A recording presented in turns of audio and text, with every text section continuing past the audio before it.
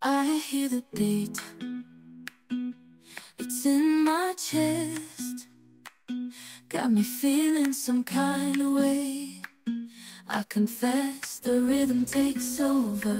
No room to rest. My heart's dancing. Alright, It's a love conquest.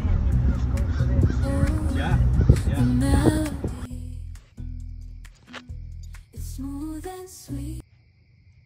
Hi guys, welcome back to my channel. So today I'm just gonna do a little vlog of me and my dog. Um, she's the one that I post a lot on the shorts and stuff. She's right here sitting on my lap. just chilling. We just got back from the vet and getting her nails done. She didn't really need anything at the vet. She just, I just need to get some of her medicine for her, but I like to take her sometimes so she knows she doesn't always go there for shots and stuff. Um, I'm in my car, obviously, and the AC on. That's what you probably are listening to in the background. my AC. And yeah, so we're just sitting. We're gonna do some more errands, I think. And yeah, that's basically it. I think this channel is gonna turn into my dog and me, possibly. Yeah, she likes to look out the window. but I normally put her in her car seat. Right, Cece?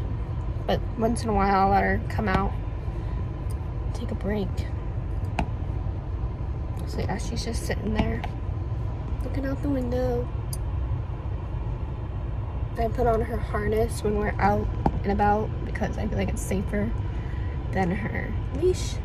I mostly use her harness for things like walks and stuff.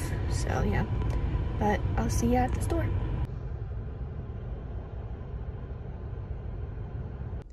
This is where she normally sits. Oh, she's trying to get out. And this is why she has that. Because she tries to get on my lap and eat things. Right? So after that, I normally lock it and she sits in there nicely because she tries to jump up on me while I'm driving and that's not safe. So she sits in there pretty well. Right now I'm just taking her out to go potty first before we go in the store. So she likes to find the perfect spot. Then we went shopping and I was trying to get her a new um, fish toy. But she gets a little bit nervous in the stores for some reason. That's why her tail's down. But I like to try and bring her when I go so she gets used to it. But yeah. I got her some toys and we are ready to go.